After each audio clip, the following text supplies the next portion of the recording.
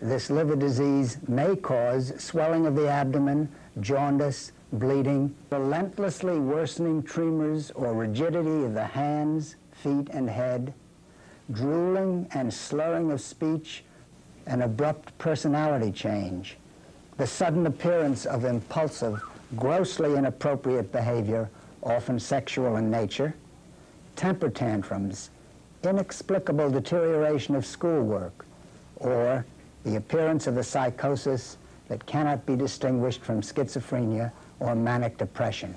These are remarkable and not remarkable symptoms. Many diseases can cause them. It was found that a genetic defect inherited from both parents allows copper, a mineral essential to life, to accumulate far in excess of the body's needs, causing fatal copper poisoning. Treatment will almost certainly save the patient's life and very probably make it a normal one.